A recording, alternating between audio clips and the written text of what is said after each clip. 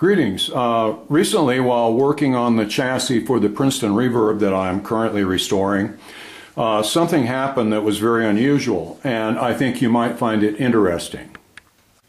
While testing the tubes, I found out that this 12AX7 right here uh, had fair output, but uh, nothing real remarkable.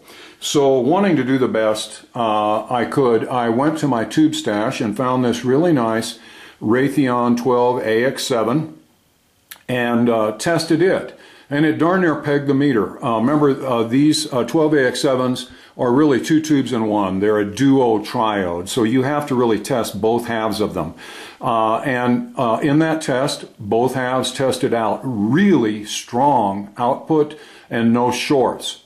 So I thought, well, this is definitely uh, stronger and better than the, the tube in the amp, so I installed this tube. Okay, first let's listen to the amp with the original 12AX7 in place. The amp is on, volume's on, it's dead quiet. Okay, now let's listen to it with the new, stronger tube in place. Now listen, we're getting a pronounced 60 cycle hum through the speaker.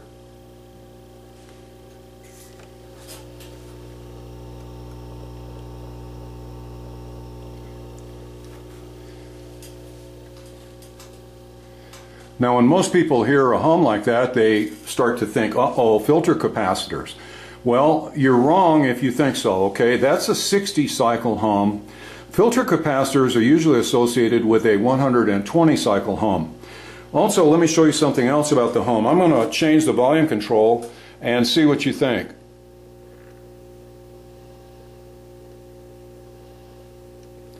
Notice that the hum does not respond to the volume control.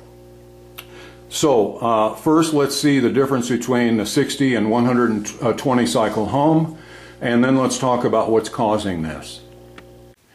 Now with the help of a signal generator uh, let's hear the difference between 60 cycle and 120 cycle hum. This is 60 cycle.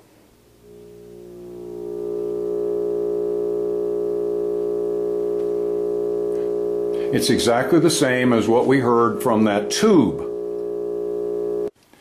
Okay, now let's hear what 120 cycle hum sounds like. Completely different pitch, noticeably higher.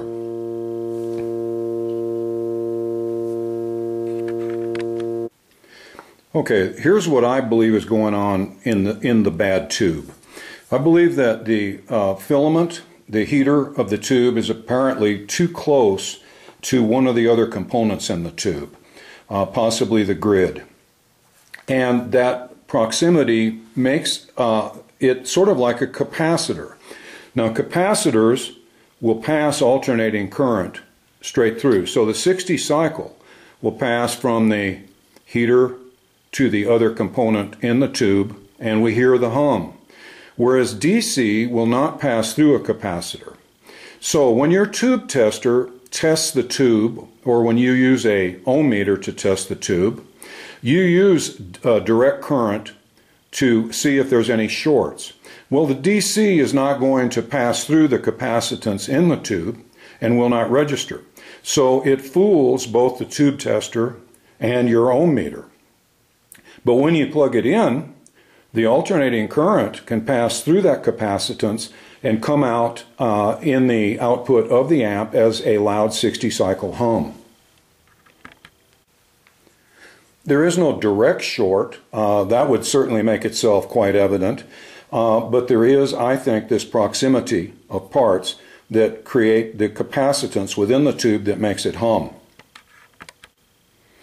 Now, if all this made sense, that's just great. If it didn't, it really doesn't matter. Because all you need to remember is if you put in new tubes in your amp, or you get an amp in that you've never owned or, or listened to before, and you hear that 60 cycle hum, start looking at tubes.